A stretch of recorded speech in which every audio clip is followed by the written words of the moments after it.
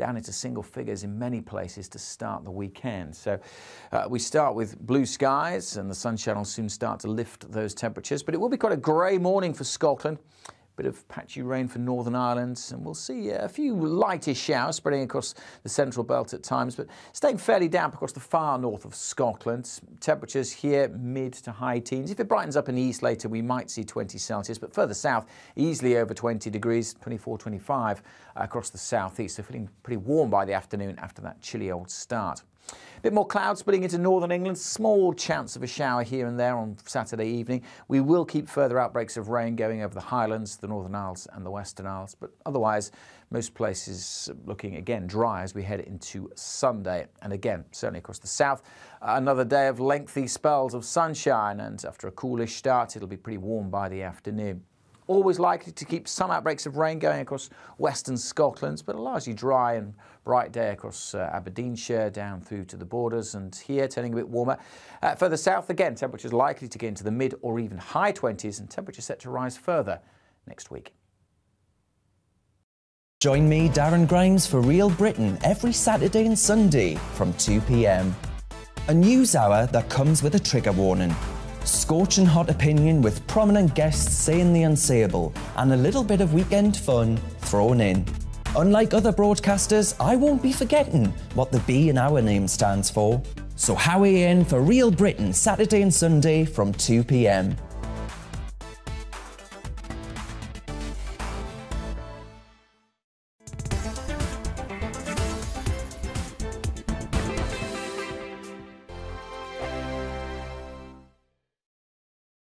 We are GB News. We're right across this great nation. On TV. On radio. On digital. Absolutely everywhere. We don't talk down to you. We embrace all voices with honest and civilised conversation. We are not part of the establishment. We're one of you. And we're only getting started. Join us on GB News, the People's Channel, Britain's news channel.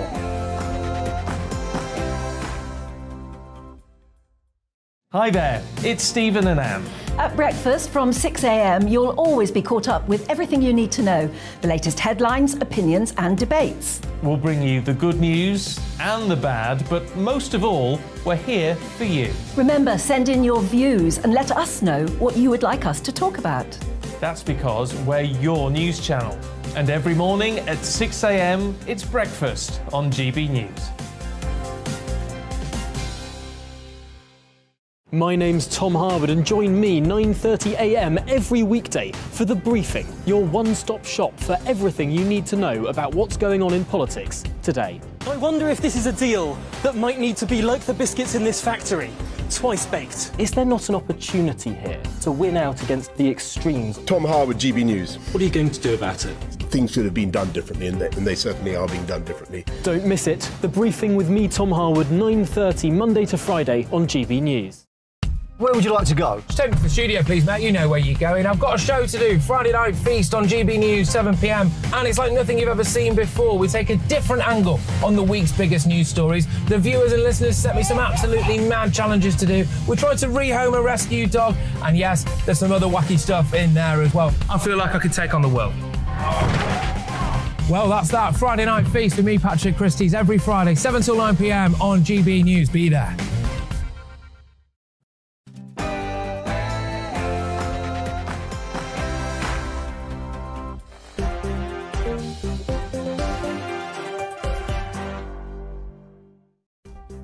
There, it's six o'clock. I'm Michelle Dewberry. This is Dewbs and Co. And guess what? It is Friday. How did that happen? It feels like one second it is Monday, the next here we are on a Friday without a minute to blink in between. Uh, nonetheless, the week has flown by. Here we are again. And you know what we do on a Friday, don't you? Uh, we get into the issues that matter, the issues that really are affecting people up and down the land. Uh, we've done immigration so far. We looked at the cost of living last week as well. This week, uh, we want want get into housing. Let's face it, I mean, the, the situation in the UK when it comes to getting onto the housing ladder uh, is a mess, isn't it? Have you been lucky enough to do so? Are you one of the even luckier ones that are sitting, relaxing on a cushion of equity, wondering what on earth will you spend all your riches on?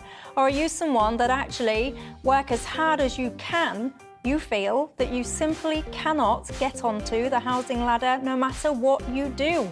Are you lucky? Do you have parents that could help you with a deposit? Or is that absolutely not the case for you? Is the government building enough houses? Should they be building more? Many people say the population is rising up and up and up, but yet the houses are not being built at a fast enough rate. So, what is going on and what are the answers to it? We'll be getting into all of that tonight. So, I want to hear your stories when it comes to housing. What is your situation? But first, let's bring ourselves up to speed with tonight's latest news headlines brought to you this evening by Tatiana Sanchez.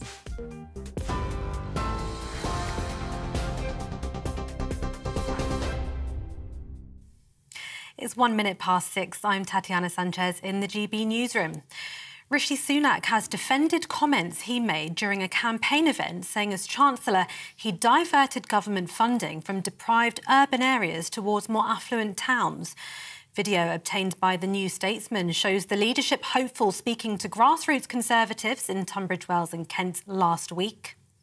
Managed to start changing the funding formulas to make sure that areas like this are getting the funding that they deserve because we inherited a bunch of formulas from the Labour Party that shoved all the funding into deprived urban areas. Uh, then they, you know, that needed to be undone. I started the work of undoing that. Well, the Tory leadership hopeful says he altered the formula to help both towns and rural areas. Well, I was making the point that deprivation exists right across our country and needs to be addressed. And that's why we need to make sure our funding formulas recognise that. And people who need help and extra investment aren't just limited to big urban areas. You find them in towns across the United Kingdom and in rural areas too. And that was a point I was making that our funding formulas that fail to recognise that are out of date and they needed changing. The two candidates vying for Tory party leader will appear on stage in Eastbourne this evening. They've already clashed over the UK's economy. That's after the Bank of England warned the country will face its longest recession since the financial crisis. Mr Sunak, claims his rival's economic plans would damage the country. But Liz Truss believes measures can be taken to avoid recession. The reality is we are facing a recession if we carry on with our business as usual policies. We need to do more, and that's why I'm determined to reform the economy and keep taxes low.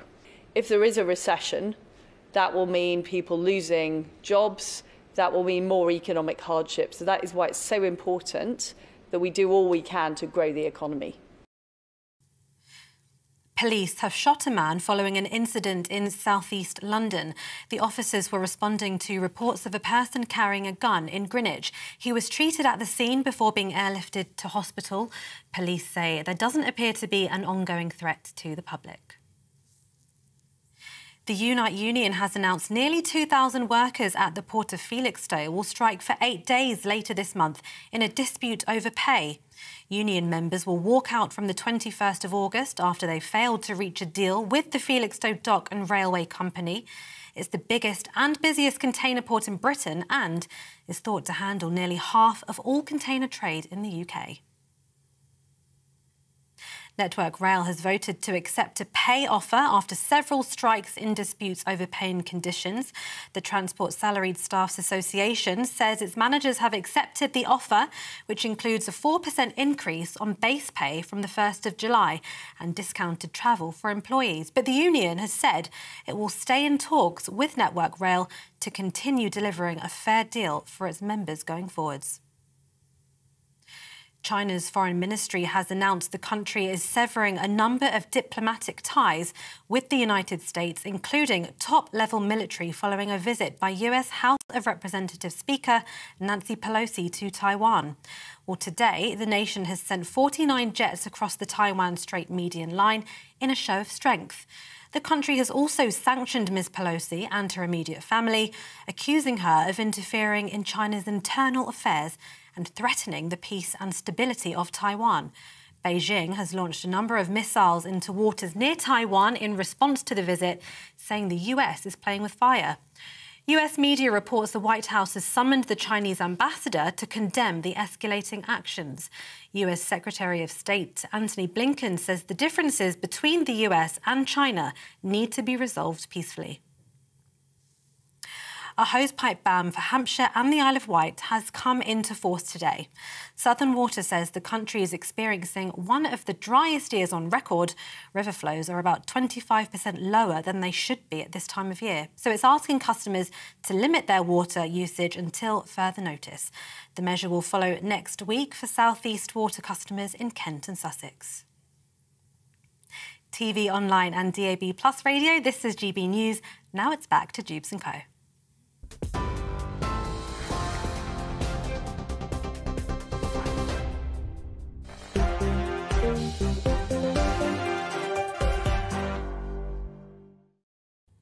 Thanks for that, Tatiana. Well, keeping me company until 7 o'clock tonight. My panel, Danisha Kazi, who's a senior economist at Positive Money, and the former Lib Dem advisor, Rabina Khan, who's also uh, used to sit, didn't you, on the Housing Committee at Tower Hamlets here in London. Good evening to both of you.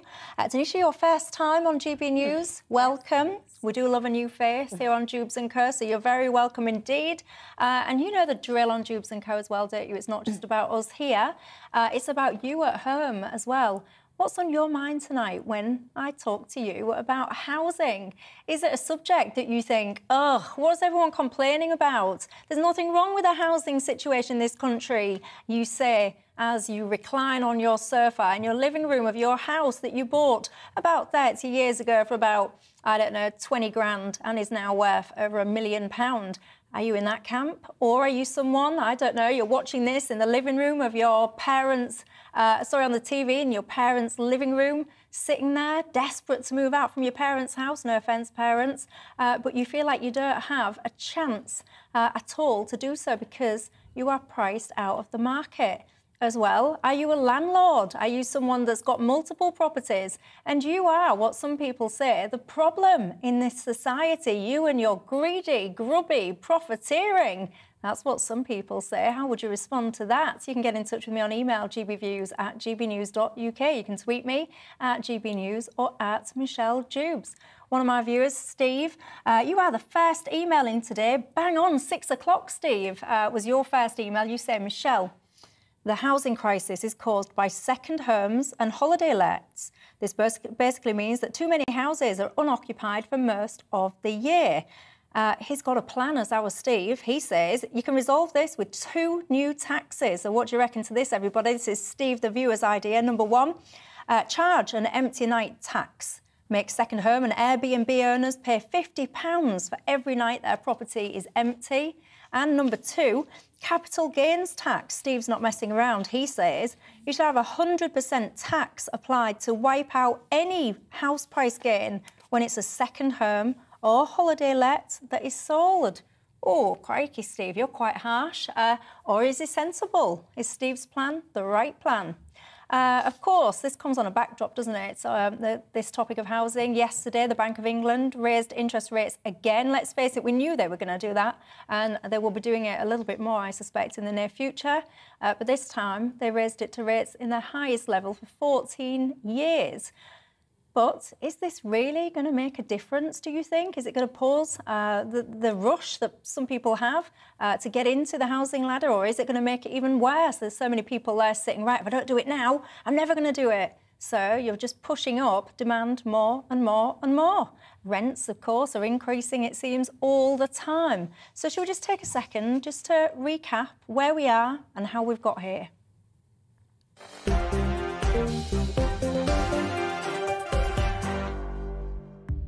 50 years ago, a third of homes in the UK were affordable, with social housing provided by local authorities. Then came along Margaret Thatcher and the Housing Act of 1980.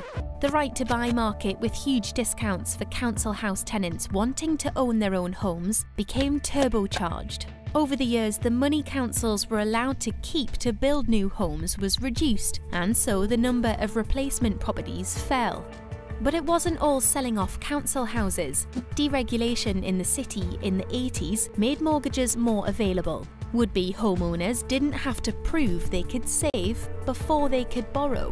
The 1988 Housing Act gave housing associations new powers that councils didn't have. Nearly 10 years later, and over a quarter of a million council houses had been transferred into housing association ownership. The housing crash at the start of the 1990s pushed many homeowners into negative equity, but by the mid 90s, house prices were on the up again, driven by a supply problem. As the population grew, the UK just wasn't building enough homes. Average mortgage payments went from being a fifth of income to around a third. The growth in the buy to let market also drove house prices up and put more properties onto the rental market.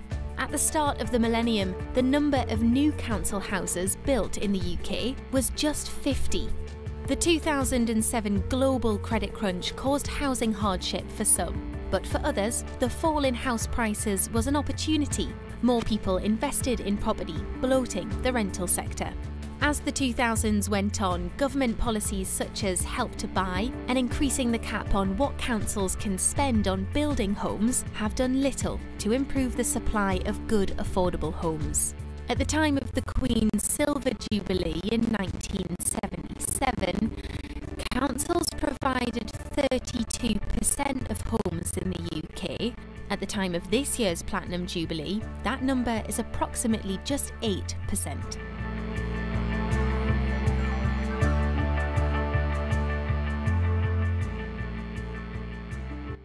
Fascinating stuff. Danisha, where do you stand uh, in terms of, you know, the situation with housing? What do you think has got us to this point today? Yeah, um, I think um, you know the dominant narrative around housing and the housing crisis has often been that it's a supply issue. We don't build enough homes, and I think certainly that's true in some respects in areas that there's high demand and a lot of pressures, and especially with regards to social housing and affordable housing, we definitely do not build enough, and we've decimated the social housing sector. And those two things are quite different, aren't they? Social housing and affordable Absolutely. housing. They get used interchangeably. Just yeah. briefly explain the difference between the two. Yeah, social housing is um, subsidised, obviously. It's um, housing for people on the lowest kind of end of the income distribution. It's um, provided by the council and our local authorities. Affordable housing can still be provided by private developers, for example but it's um, a little bit more affordable. And um, I think, you know, it's questionable about whether it is affordable because mm. it's still at market rates. It's not linked to, say, for example, people's incomes. And a striking feature of the housing crisis is the, the gap between house prices and um, people's incomes has grown sort of astronomically. So right now, the uh, sort of ratio of house average house prices to average incomes has hit almost nine um, nine times. And in London, it's 13 times. So mm. you need 13 times your income to afford a house in London and nine times in, in the rest of the country. And the average used to be about four or five times your income up until um, very recently. So we've had a kind of distortion of the market that needs to be corrected, I guess. Indeed. Uh, Rabina, where do you stand? I think um, when I look at this, um, I, I, thought the film clip was really good. It was very comprehensive. I would just go back a little bit further to post World War II when Winston Churchill, through the Burke Committee, introduced the first housing programme in which to rebuild Britain. And so between 1945 and 1951, under Churchill and under Attlee, they built 1.2 million homes. And subsequently, after that, decades of consecutive governments um, have failed to build um, the homes that we need in this country. Um, and I think that's um, a responsibility across both the mainstream um, political parties who have been in power, that they're failing. And there was this sense of complacency that we've built previously and we will continue. And we can only just see that 32% was built in 1977, um, only 8% this year what I do want to just comment on is about the right to buy. Now, the right to buy has been has been criticised from you know a range of people, but actually the right to buy enabled people to get onto the housing ownership leasehold um, flat ownership system. But what it failed to do was to reinvest mm. and to build more homes. And again, it goes back to the, the point that Danisha has brought in about um, supply and demand. Um, and now we are in a housing crisis where we have problems with the leasehold, shared ownership. We have problems um, in the rental sector, private PRS, private rental sector. We're failing to build social housing. We have also um, not provided the funds for councils to build their own homes, but instead, um, through the under a Labour administration, they had the stock transfer, which meant that we built housing associations who have more and more power. Um, and I welcome um, a few things in the past about the housing um, going forward in terms of holding housing associations to account. So, in a gist, the crisis, housing crisis, is a range of issues that are affecting people in this country, not just about home ownership. Indeed, and one of the um, uh, comments that's coming through, I have to say, I can see it coming in on the inbox as well, is this whole kind of conversation about second homes. Some people are saying that this is one of the big reasons why many people can't afford to have a first home because so many people have got a second home. Um, in Cornwall, for example, uh, up to 40% of properties in some places are used as second homes. Uh, Kath Navin joins me now. She's uh, over in Cornwall and she is the co-founder of First, Not Second Homes. Um, Hi, good evening to you. Kath, let me ask you. Um, uh, I mean, you know, you do what you say on the tin. You know, if you're the founder of First Not Second Homes, I'm guessing that you're not a huge fan of second homes. But if someone's worked hard, got a bit of spare cash, why shouldn't they be able to have a little holiday home by the sea? I think um, in previous years this has been um, perfectly acceptable. But when you've got a situation that we've got at the moment in Cornwall, where we have over 22,000 households that are in emergency accommodation, we've got real issues with second home ownership. So it's it's about how those second homes are used. Having a second property in and of itself isn't the main issue. It's how those properties are used, and they're being flipped from long-term let to short-term letting without any particular legislative um, changes, and we've got an issue where people are just being literally being turfed out because you can maximize your profit on your second home ownership. If you use it as a short term let, you can get upwards of five times more than you can for a long term let currently. So, you know, why wouldn't people ch- use that advantage to make as much money as possible? But it's not what it, what it's doing is it's killing communities, and people are just being kicked out of their home for no good reason. And these are hardworking people, the same as those people that have worked hard to get a second home. So, Kath, um, help me understand. I mean, I've been to Cornwall a few times, lovely part uh, of the country. But often yeah. uh, we see Cornwall, the, you know, your local kind of industries, economies, etc. They're thriving because of people like tourists. So what you're describing here is you've got now a plethora of property uh, that's being used on short-term lets. I imagine it'll be things like Airbnb, so a family in one week, a family in the next, etc., etc. Surely that's good for your local economy. Um, yeah, in to a degree. So we've only got 12% of our economy currently is dependent on tourism.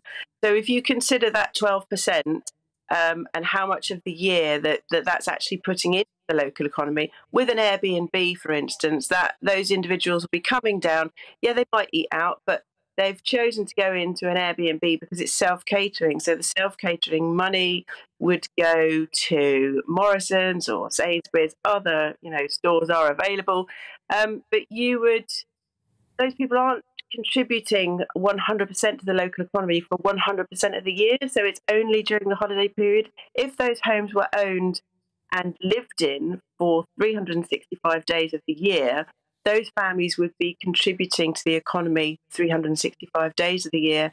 And it just it evens things out in terms of the other industry that we've got down here. Agriculture is actually our main industry. And visit cornwall did some assessment uh, towards the end of last year. And even by 2060 they believe that only one in four jobs maximum will be attributed to tourism. So it's not actually we do, we're not as dependent on it as it might seem.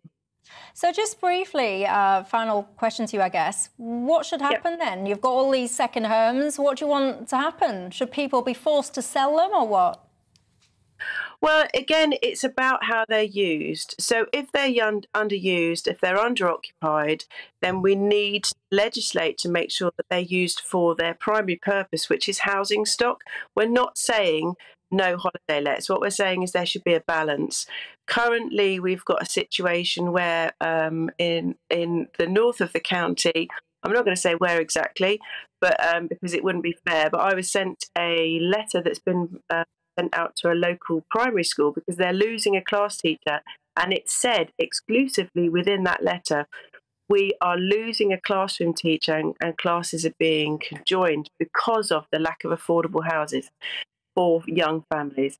So if we had legislation, for instance, similar to the, what's been introduced in St Ives, where new builds are restricted to first home occupancy, that would help. But that's got to be in conjunction with things like planning um, restrictions that stop people flipping from long term let to short term let, with things like getting rid of Section 21, which has been talked about since Theresa May was in power. Um, and also, let's not forget the landlords. We want to protect landlords. So, have a good landlord scheme, have support for them if they've got bad tenants. Give incentives to landlords to make long term letting more attractive so people move back to that because um, anecdotally currently this year. Last year it was 100% bookings in cornwall. This year um, it's been reported that only 60% of the holiday lets are actually being booked up.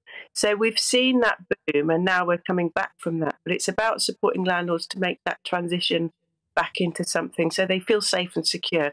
And that will give security to those individuals that um, want to live in rented accommodation because it's not we're not saying you have to sell your home Okay, fascinating stuff. Kath uh, Navin there. So, as I mentioned, she is the co-founder of First, not Second Homes. Thanks for your time. Um, Danisha, what did you think to what you just heard then? Yeah, it's a really interesting um, um, conversation that needs to be had around second homes. It's also people have multiple homes, mm. and um, we also have a burgeoning private rental sector, which has doubled in size since the 2000s. And home, home ownership rate, um, home ownership rates are falling. So um, there are a lot of people who can't buy, and they're going to be dependent on the private rental sector for mo- almost all of their lives. Really, their you know generation rent is growing up. They say is becoming they're becoming older into the midlife. They're becoming you know, families, they have children in the private rental sector. So I just wanted to take a step back to kind of look at what are the sort of drivers behind what was just said about the second homes and the, um, the issue really is around the demand side of the equation in, um, in the story, which we often neglect, which is, you know, housing plays a dual role. It's shelter, but it's also an asset that people want to use to accumulate wealth. Certainly is. And, yeah. and yeah, and I think that's what's become out of control. It's become far more of a financial asset than a, a, a basic need, basically. Rabina? Thanks, Michelle. I mean, we've had this kind of conversation when Whitby brought their referendum about mm. second homes as well. And what it shows here is about communities. And Kath eloquently summed it all up about the fact that communities feel that they've been left behind. That's not what we want in these communities. We want to make sure that a home is not. I mean, it's this narrative that if you have a house, house. Um, in this day and age, we're looking at someone's wealth and income is actually stipulated to whether or not they own a home and a, a house. But what we have to change the narrative, instead of saying house building, we should be calling it home building. Mm. Um, and, and I think that narrative has to change that. It's not just about a house where you, it's an object, it's an actual home. And within a home, you then start building communities, sustainable communities around you. And what Kath said was really interesting about the fact that it's only 12% of the tourism industry, that there are other economies, agriculture. And so in terms of retaining the tourism there and allowing people um, whether or not they've got they've got businesses there, is a second home levy. Well, let me know your thoughts. Where do you stand on this? Uh, is this just as simple as, uh, you know, um, second homes or what? I mean, some people here are saying there isn't even a housing crisis, Michelle. It's a population growth um, crisis, an immigration crisis. That's what you guys are saying is one of the things that we're not focusing on, that we should be. Charlie um, says, I'm unfortunate enough to live in an area where all the houses are being bought up um, at £30,000 above the market price by uh, city dwellers, he says, this needs to be stopped. That area is Scarborough. I love uh, Scarborough, very nice um, holiday area there. Charlie, what I would say to you, a lot of people are getting upset about uh, house prices, etc. You know, what about the people that are selling these properties? Because it's all well and good, the demand being there, pay this extra 30 grand. If people are so concerned about their local communities, etc., why don't they sit there and say, no, thanks, I don't want your extra 30 grand. I'm going to take it at 30 grand less and give it to, I don't know, that guy down the road, my local community member. Uh, are the house sellers just as bad as the city buyers that you mentioned there. You tell me at gbviews at gbnews.uk what, who is to blame when it comes to the housing situation we find ourselves in. I'll see you in a second.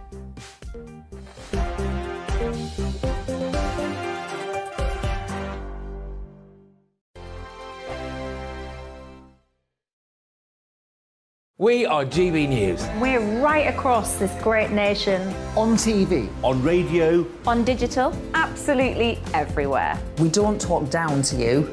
We embrace all voices with honest and civilised conversation. We are not part of the establishment. We're one of you. And we're only getting started. Join us on GB News, the People's Channel. Britain's news channel.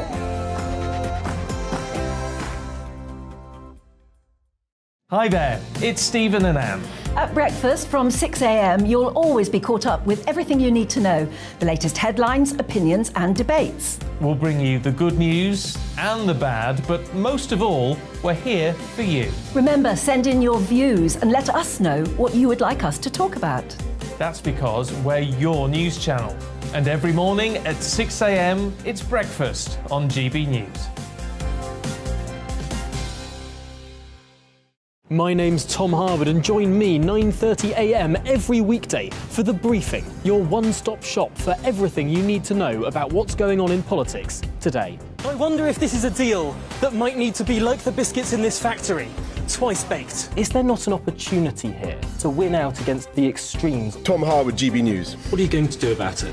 Things should have been done differently, and they, and they certainly are being done differently. Don't miss it. The Briefing with me, Tom Harwood, 9.30 Monday to Friday on GB News.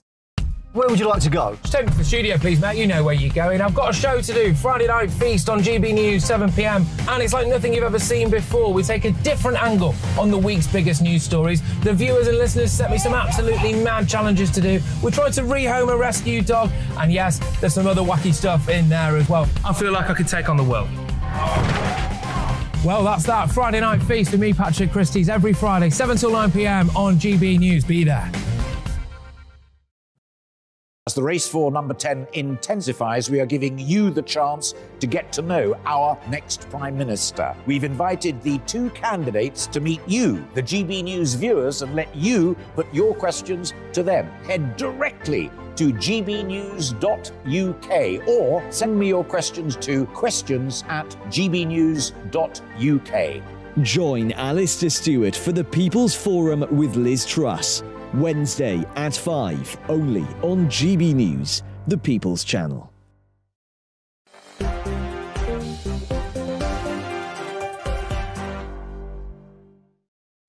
Hello there, welcome back to Dewbs & Co with me, Michelle Dewberry. We're doing our special Friday of Focus today uh, and under the spotlight is housing. What is going on with the situation in this country when it comes to the housing market?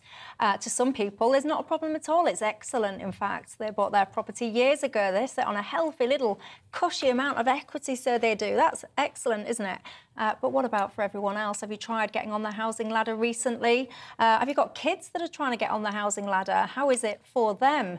Uh, keeping me company to get into some of these issues tonight, my panel, Danisha Kazi, who's a senior economist at Positive Money, and Rabina Khan, a former member of the Housing Committee on Tower Hamlets Council. Good evening again to both of you. Now, I have to say, for many people, buying uh, a property is just simply not an option. Instead, they are pushed into the rental sector, not necessarily by choice. Figures released this week show the cost of renting has risen to record levels in 40 cities across the UK. On average, people now spend about 30% of their income on rent. Although I've got to say, in places like London, for example, it can be much, much higher. Uh, when you think about the rental sector, by the way, you've got private landlords, housing associations, and council run accommodation. So it's not just kind of one size fits all. And it's not always a bad thing, by the way. Some people do choose uh, to rent. They want to be uh, in rented accommodation, whether it's for flexibility reasons or other. Uh, anyway, Matt Hutchinson is from spareroom.co.uk. He joins me now. Matt, good evening to you. Hello. Uh, how would you regard the rental uh, situation at the moment? Is it out of control or is it accessible in your mind?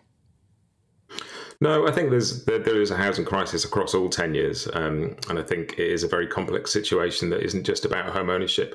And the, but the bottom line is we should have all sorts of tenures, rental, um, ownership, whatever suits people. But they should all be affordable and accessible to people when they need them. Because exactly as you say, renting is a great option for some people if they need to make shorter-term plans or they want to be able to move around. But we need all of those options to be affordable, and currently they're not. Can I just ask, what do you mean by affordable? Because this kind of term, affordable housing, it's written everywhere and everyone talks about it. You're talking about yourself.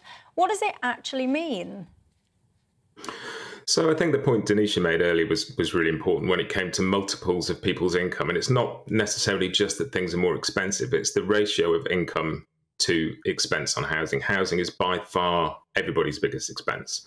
Um, and the amount that it costs compared to how much people earn has changed drastically. So that 30% figure you just quoted, in some areas, that's, you know, there's a lot of the country where people are paying more like 40, 50% of their income on renting. And it just means there's not much left. And it's, it's, it's really important that people are able to house themselves in a way that they are able to also live as well. And it's we, we talk about housing and it makes it sound like a like it's people storage rather than people's homes. And this the point Rabina made about houses versus homes, it's really important because home is such a, a fundamental bit of our lives. And unless everybody can have an affordable, secure, safe home, it doesn't benefit us as a society at all, I don't think. No, I think you make some good points there, Matt. Um, so thank you very much for your time. And also, by the way, thank you, because many years ago, when I first arrived in London for work, I certainly could not afford uh, to rent anywhere to live. So I actually used your website many, many, many years ago uh, to get a, a room in a flat. That was the only way I could afford to be here. So Thank you very much. Good service you provide there. That's Matt uh, Hutchinson from spareroom.co.uk. Rabina, uh, one of the points that he was making there is exactly the point that you was uh, saying about a home is not just a house, an asset. It is, sorry, a house is not just an asset, it is a home. But I, what is the answer to some of this? Because it is just unaffordable. I mentioned that website there. I used that because the only way I could afford when I had to come to work in London was to get a room with a load of randoms in a house. And I mean, it worked out well for me, but people should just be able to afford a flat if that's what they need. But they can't. Well, Michelle, I've got two adult daughters at home and they're not going to be moving out. And simply because I don't want them to move out, because most of their income will go on the rent in London. Um, a one bedroom flat in London costs between £1,600 a month up to possibly £1,800 a month. And that will take most of the income from a young person trying to stabilise themselves, save money, and try to get onto the housing ladder. So when we're looking at this, the government's renters reform bill, which is um, out now, that needs to be I mean, they they put some really good points in there about the fact that it's got to be the decent standards, the um, um, Section 21 being taken out, and also um, the aspects that there would be a housing ombudsman panel as well. But we have to do far more than that in the rental sector. We've got to start stabilising those rents in order to make sure that a generation of young people who need to get into the private rented sector in order to obtain housing, we need to stabilise that market. And at the moment, consecutive governments, and I've said it before, they've all been responsible for letting the rental sector get out of control. And we have to now stabilise it at a moment, at a critical moment, just as, and I referred back to my original when I, comments about World War II, we need in this country, just as World War II, post World War II, there was this hunger to rebuild this country, to ensure things that were stabilised, to build and rebuild in a way that we can both stabilise an economy but also empower the next generation of young people. And Danisha, how do we control this rental uh, market then? What do sure, we do? Yeah, I think something that we, um, you know, the white paper has some, made some good moves, but needs to go further. Um, and one really important policy that we could start looking at again is rent controls, yeah. which Rabina's obviously um, referred to. Um, and the thing about rent controls is it's not radical at all. We had them in the UK for most of the 20th century, up, up until very recently. Most of Europe has rent controls of some form, and even parts of America. And that would really help bring um, prices back under control. So what does that mean? So as a, let's just say I've got a two-bed flat in, yeah. I don't know, Hull. Um, what, the government's going to tell me, Michelle, you can't increase your rent any more than X? It would be localised, I think. So it should be according to the local housing market. And it would be to say you can either limit rate increases or limit the initial um, level of rent. And you can use a combination of them. And, you know, these sort of things have to be um, developed sort of over time and slowly so that we don't hurt all the different sectors of the economy. So, you know, we don't want to, the private rental sector supply to just suddenly reduce or something like that. So we do need to manage them, but rent controls could be a really great way to protect people. Um, and again, they have it in Europe, um, used quite widely to protect renters. Rental controls there. Uh, Leslie has been in touch, a private landlord. She says, we're now selling up all of our private rented portfolio of 15 houses. We are fed up with how we, as landlords, are being treated by the government, the taxman, the authorities, etc. She says, um, I assume you're a she actually, Leslie. I don't know. Leslie says uh, it's no longer a feasible business being a landlord.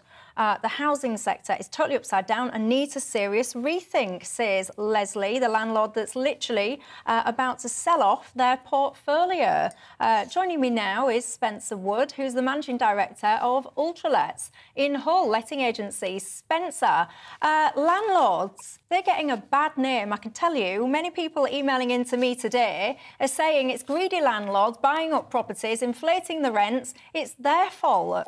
What do you say back to that? Well, I think there's a misconception, Michelle, that all landlords are in their big offices and renting their properties to, to poor people. That's that's certainly not the case. Uh, we work with hundreds of landlords that are based all around the UK and invest in Hull on a regular basis. Um, you know, they're they're um, uh, sorry. Uh, I get what you mean. What you're trying to say, uh, Spencer, I think, is that they're not mini Alan Sugars. They're often your average man on the streets, these landlords. Qu- quite often, the average man on the street maybe got two or three properties. Um, if you look deep dive into the numbers, Michelle, the uh, landlords on average, HomeLet released a, an article recently where they said that landlords only actually make seven percent profit on their on their property investments when you factor in the mortgage interest, you factor in the uh, management fees they pay to their letting agent, you factor in the tax they're paying, uh, repairs on the property, some allocation for void periods. And in our area in East Yorkshire, the rents have only gone up by eight percent in the last year. So landlords aren't actually making huge amounts of money. And what do you say, because another thing that's been discussed on this panel, and again is coming through on my uh, inbox, is Section 21. People are saying get rid of it. Uh, it means that landlords can kick people out the house. Danisha's uh, nodding away. Where do you stand on that?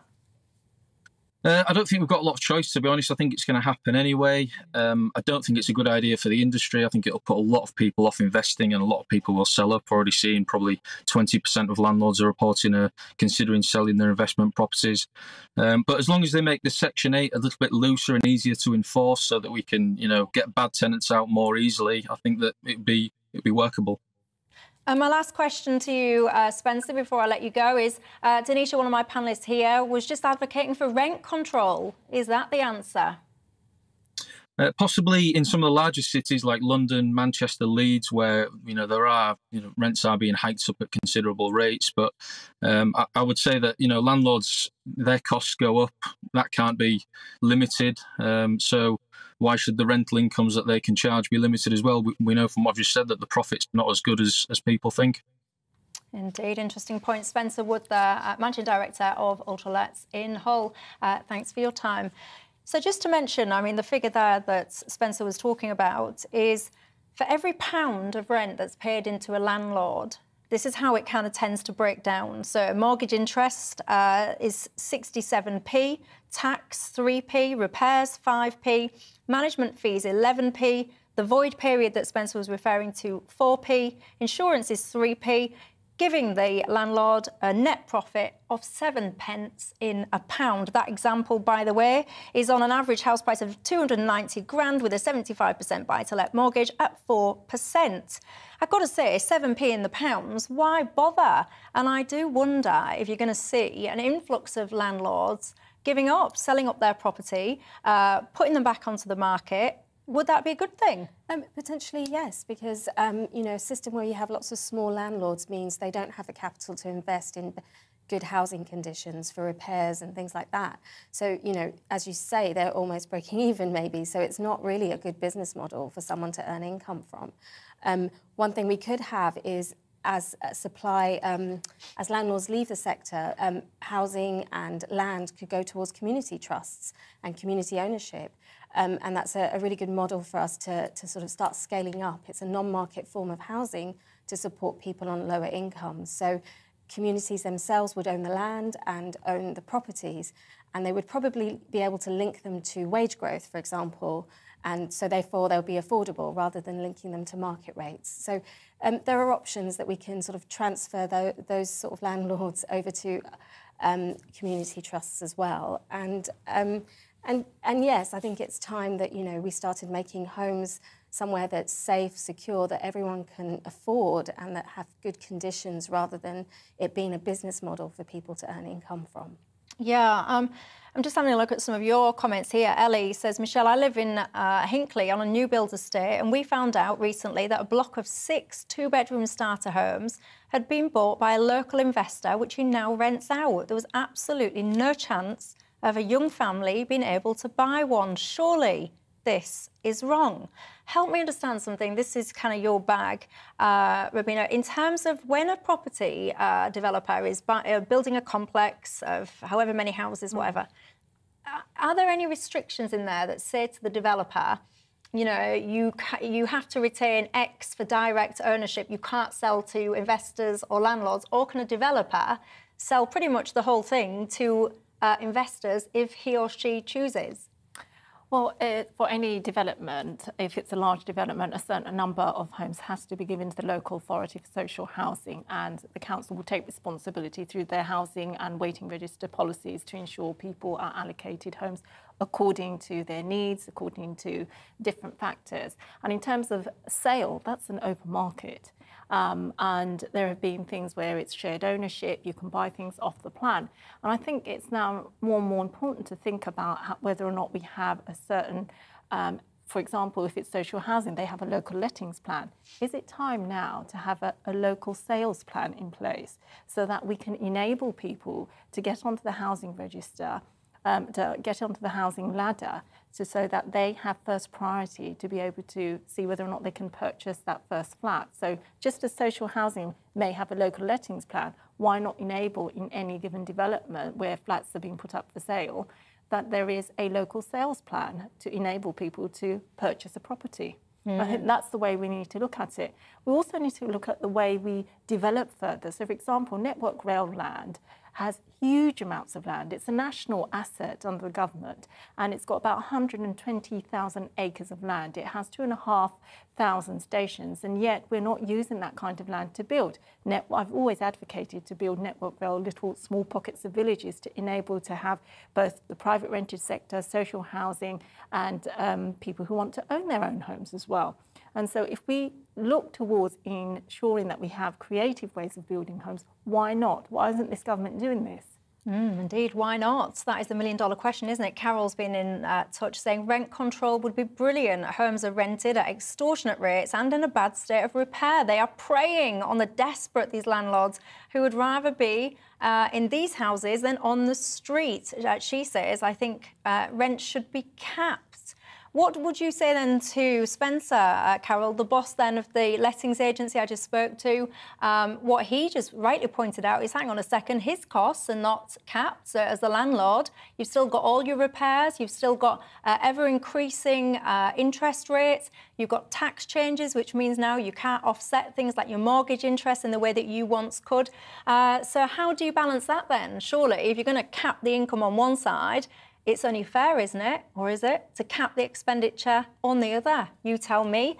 Um, Andrew has said, you have a complete anti-landlord bias. Um, from your guest tonight, most landlords are providing a good service and they do invest in maintenance, says Andrew. Andrew, I completely agree with you and I actually think that a lot of landlords uh, provide a vital service because as Bernard, one of my other viewer points out, uh, he says landlords selling properties won't help the situation because many of the people renting are renting because they can't afford to buy. And I think that, Bernard, you make uh, an interesting point. It feeds into Andrew's point there um, in terms of landlords. Many of them are good, decent people. Mm. Uh, and by the way, there's some right wrong uns when it comes to tenants as well. So don't be fooled. Don't be sitting there thinking, oh, the baddies in this scenario are the landlords and the goodies are the tenants, because I can assure you uh, it can work both ways. Right, I'm going to take a quick break. Uh, when I um, come back in a couple of minutes, I'm going to talk to you about what's the solution. But before I leave you, uh, I'll tell you a little fun fact I learned today. I was thinking about Monopoly. And I was thinking to myself, gosh, this whole notion of property being an asset has been on and on for years and years and years. 1903, Monopoly was invented. Uh, and then I found out an interesting fact, actually. Monopoly wasn't invested as a, oh, let's all be capitalists and profiteer on uh, property. It was quite the opposite.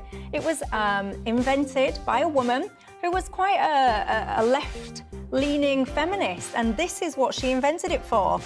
For it to be, I quote, a practical demonstration of the present system of land grabbing, with all of its usual outcomes and consequences. So there you go, a little interesting fun fact. Monopoly was actually um, intended to show you the downside of capitalism when it comes to property ownership. Right, uh, let me know your thoughts on the solutions to all of this, and I'll see you in a couple of minutes.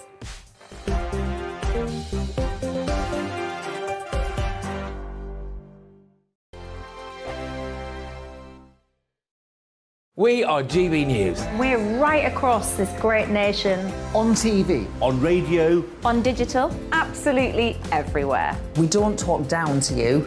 We embrace all voices with honest and civilised conversation.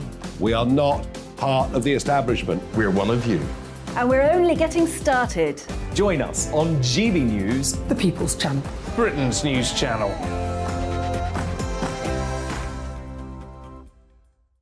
Hi there, it's Stephen and Anne. At breakfast from 6am, you'll always be caught up with everything you need to know the latest headlines, opinions, and debates. We'll bring you the good news and the bad, but most of all, we're here for you. Remember, send in your views and let us know what you would like us to talk about. That's because we're your news channel. And every morning at 6am, it's breakfast on GB News. My name's Tom Harwood and join me 9.30am every weekday for The Briefing, your one-stop shop for everything you need to know about what's going on in politics today. I wonder if this is a deal that might need to be like the biscuits in this factory, twice baked. Is there not an opportunity here to win out against the extremes? Tom Harwood, GB News. What are you going to do about it? Things should have been done differently, and they, and they certainly are being done differently. Don't miss it. The Briefing with me, Tom Harwood, 9.30 Monday to Friday on GB News. Where would you like to go? Just take me to the studio, please, Matt. You know where you're going. I've got a show to do. Friday Night Feast on GB News, 7 pm. And it's like nothing you've ever seen before. We take a different angle on the week's biggest news stories. The viewers and listeners set me some absolutely mad challenges to do. We tried to rehome a rescue dog. And yes, there's some other wacky stuff in there as well. I feel like I could take on the world. Well, that's that. Friday Night Feast with me, Patrick Christys, every Friday, 7 till 9 pm on GB News. Be there. The man who wants to be the Prime Minister, Rishi Sunak, sits down with me, Esther McVey, and Philip Davies this Saturday. Don't miss it. Does the former Chancellor have what it takes to beat his rival, Liz Truss? Can he regain the momentum he's lost over the last couple of weeks? All questions and all answers put to the Tory leadership hopeful, Rishi Sunak, tomorrow, 10am on GB News, the People's Channel.